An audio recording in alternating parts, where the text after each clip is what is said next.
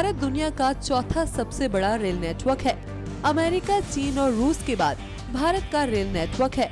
एक अनुमान के मुताबिक भारत में करीब 8000 से पचासी सौ के बीच रेलवे स्टेशन हैं और सबके कुछ न कुछ नाम है। लेकिन भारत में एक ऐसा रेलवे स्टेशन है जिसका कोई नाम ही नहीं है। लेकिन पश्चिम बंगाल में एक ऐसा स्टेशन है जिसका नाम ही नहीं है। पश्चिम बंगाल के बर्दवान ज़िले से 35 किलोमीटर की दूरी पर एक रेलवे स्टेशन है, जो पिछले कई सालों से बिना नाम का है।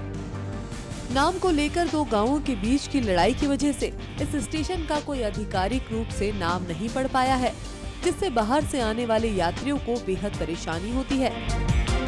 स्टेशन में लगे बोर्ड पर पीले रंग से पेंट किया हुआ है, जिस पर कोई नाम ही नहीं लिखा। 2008 में बने इस रेलवे स्टेशन के बोर्ड पर दोनों तरफ़ कुछ भी नहीं लिखा है। ये साइन बोर्ड दो गाँवों के बीच की गवाही है। इसमें एक गाँव का नाम है रैनागर और दूसरा रैना। नौ साल पहले ये स्टेशन रैनागर से ही जाना जाता था, लेकिन बाद में रेलवे ने स्टेशन को नैरो गेज से ब्रॉड गेज में तब्दील किया।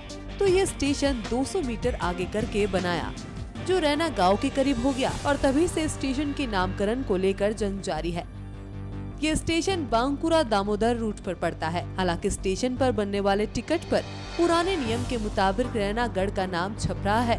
रेलवे कर्मचारियों की माने तो पूरे मामले से रेलवे को अवगत करा दिया गया है। स्थानीय लोगों ने पूर्व रेल मंत्री सुरेश प्रभु से जल्द से जल्द इस समस्या को हल करवाने की अपील भी की थी, लेकिन ये समस्या हल नहीं हो पाई।